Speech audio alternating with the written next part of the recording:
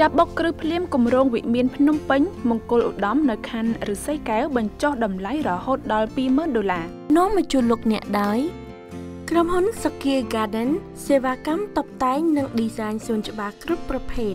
ក្រុមហ៊ុនលីហួរគ្រប់ចាប់ផ្ដើមបុកគ្រឹះសាងសង់គម្រោងទី10របស់ខ្លួនបន្ថែមទៀតដោយសារតម្រូវការកើនឡើងខ្ពស់ ស្របនឹងស្ថានភាពវិស័យអចលនទ្រព្យនៅកម្ពុជា មានលំនឹងល្អគម្រោងទី10របស់ក្រុមហ៊ុនលីហួរគ្រប់មានឈ្មោះថាវិមានភ្នំពេញមង្គលឧត្តមស្ថិតលើផ្ទៃដីជាង5ហិកតាស្ថិតនៅក្នុងសង្កាត់ច្រាំងចម្រេះទី1ខណ្ឌឫស្សីកែវរាជធានីភ្នំពេញដែលមានចម្ងាយ2គីឡូម៉ែត្រពីផ្សារអេអន2និងផ្សារម៉ាក្រូក្នុងខណ្ឌសែនសុខថ្លែងក្នុងពិធីក្រុងពីលីបុកគ្រឹះសាងសង់នៅថ្ងៃទី8ខែឧសភាឆ្នាំ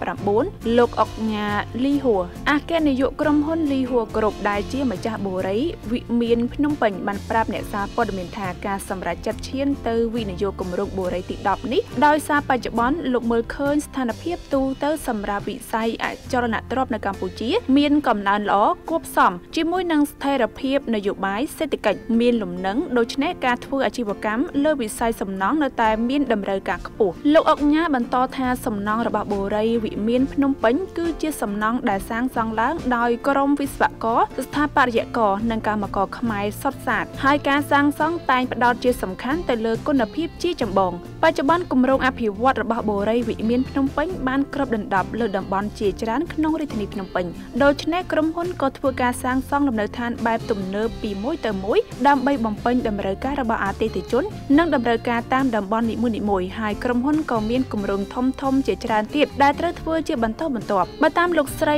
ឆាយស៊ីណាប្រធានផ្នែកលក់និងទីផ្សារថាគម្រោងទី10របស់វិមានភ្នំពេញនេះមានជាង200វិឡានិងបើកលក់ចាប់ពីថ្ងៃទី8ខែឧសភាតទៅ ដែលជំហានដំបូងមានបញ្ចុះតម្លៃពិសេសរហូតដល់20,000ដុល្លារអាមេរិករបាយការណ៍របស់ក្រសួងរៀបចំដែនដីនគររូបនីយកម្មនិងសំណង់ដែលបានចេញផ្សាយកាលពីចុងឆ្នាំ2018កន្លងទៅ បានបញ្ជាក់ថាខណ្ឌឫស្សីកែវគឺជាខណ្ឌដែលមានចំនួនបូរីលំនៅឋានច្រើនជាងគេ គឺរហូតដល់54ទីតាំងបើសរុបក្នុងរាជធានីភ្នំពេញទាំងមូលមានបូរីលំនៅឋាននិងបណ្ដុំលំនៅឋានលក្ខណៈបូរីចំនួន212ទីតាំង